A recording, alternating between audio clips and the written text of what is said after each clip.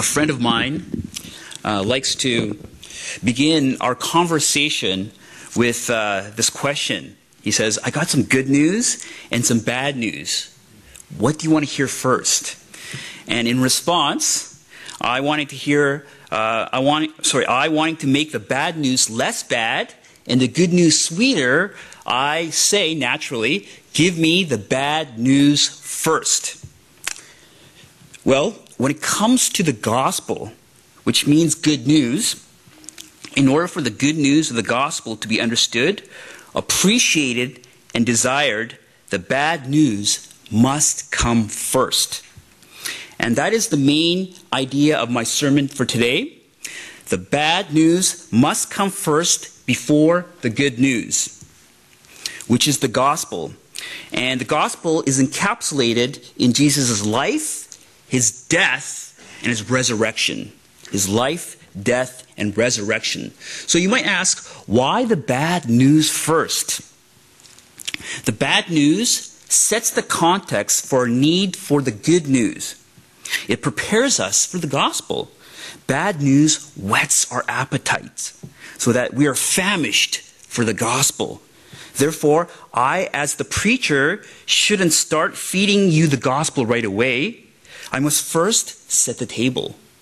I must place uh, the, the tablecloth and the silverware first. I must set, arrange the forks, the, the spoons, and the knives so that you, the supper guests, will uh, anticipate and feast on the good news.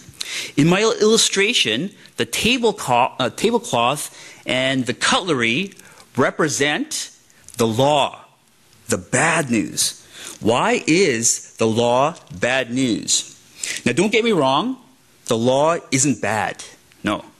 It just happens to be bad news for us because it is the standard by which God will judge us. And we all fail to meet the standard. And that is what sin is. Sin means missing the mark.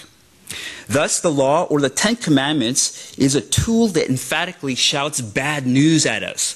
In Romans 7:13 it states, "It was sin in order for that it might be shown to be sin by effecting my death through the law, which is good, that through the commandments sin might become utterly sinful." So the Ten Commandment teaches us what sin is, and the law used properly convicts us of our sin. The Ten Commandment is like a mirror that wakes us up from our delusion. Uh, before I go and take a look at the mirror in the morning, uh, I might think I have a clean face. But uh, the mirror, when I look at the mirror, it reveals the, the dirt and the grime I have on my face. Uh, I might think I have good skin, but then when I look closely in the mirror, it reveals the acne I have all over my face. Uh, I might think I have neat, um, tidy hair, but when I take a look in the mirror, it reveals to me the messy hair that I have. It shows sometimes my deep wrinkles. Uh, in fact, a couple of days ago, while I was looking in the mirror, uh, to my horror, I discovered I had a couple of gray hair. Uh, the, the, uh, sorry, the mirror reveals painful truth. And uh, we are forced to admit that we have blemishes through the mirror. We have flaws. The Ten Commandments, in the same way, acts as a mirror does. It soberly exposes our state, our sinful state. But sin is much more serious than a bad hair day or uh, a couple of gray hairs. Okay? Because sin kills. Now, let me ask you a serious question. Have you ever gone face to face like you look in a mirror. Have you ever gone face to face with the Ten Commandments? Have you ever gone through every single commandment and asked yourself this question Have I obeyed throughout my entire life the Ten Commandments faithfully in thought, word, and deed, in, uh, outwardly as well as inwardly? To see if we pass a test, let's go face to face with God's law. Uh, let me ask you a question. Have you ever loved anything in this world more than God?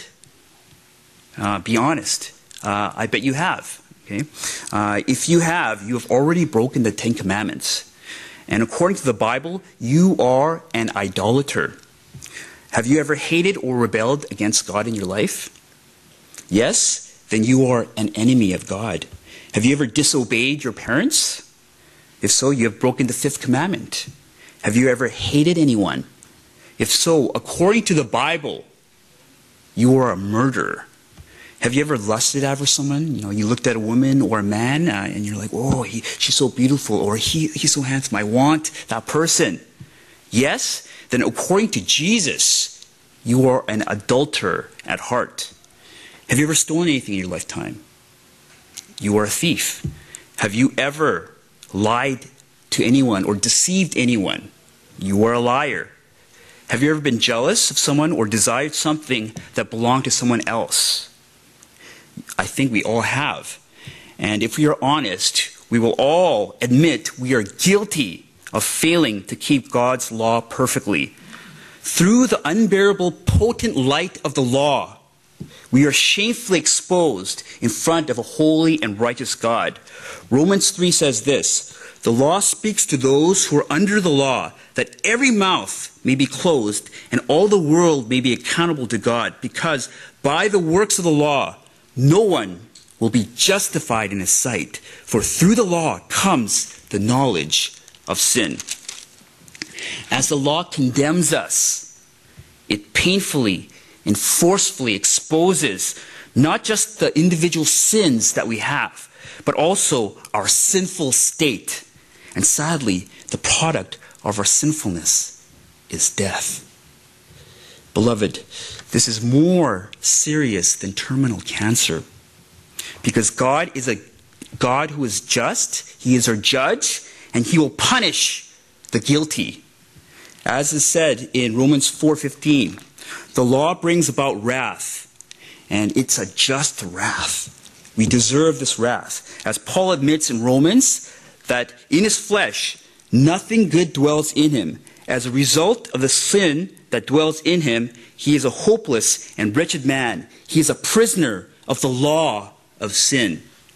This helpless and hopeless state doesn't just apply to Paul alone.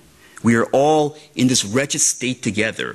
From Hitler to Mother Teresa, we are all in the same boat.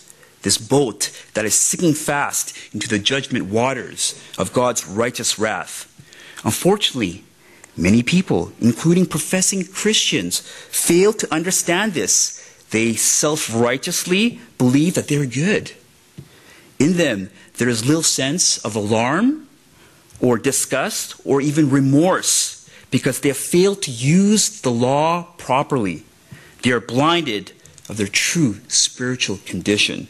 Much like the self righteous Pharisees, they have lowered the bar of the Ten Commandments to their personal height, whereas Jesus raises the bar to the height of God's holiness, perfection, and righteousness. In Mark 10, verse 18, Jesus says, No one is good except God alone. In Psalm 140, uh, 143, verse 2, it states, No one is righteous before you. In fact, Revelations 15:4 says, "Only God is holy." At the same time, Romans 7:12 says, "The law, the commandments are holy as well." Now, is there contradiction? Can God alone be holy as well as the 10 commandments, the law? Is that a contradiction? Uh, no, the Ten Commandments reveals the character of God. Do you remember how the Israelites received the Ten Commandments? When the Israelites were in the, were in the desert, Moses went up to the peak of Mount Sinai as the Israelites waited at the base of Mount Sinai. And God met Moses at the peak of Mount Sinai, and he gave, uh, God gave Moses two tablets of stone, and on the two tablets of stone was written the Ten Commandments. God wrote with his finger on the Ten Commandments. His uh, DNA, if you will, his righteous, holy DNA, if you will, was embedded, was smeared into the Ten Commandments. And that's why the Ten Commandments, the law, is holy.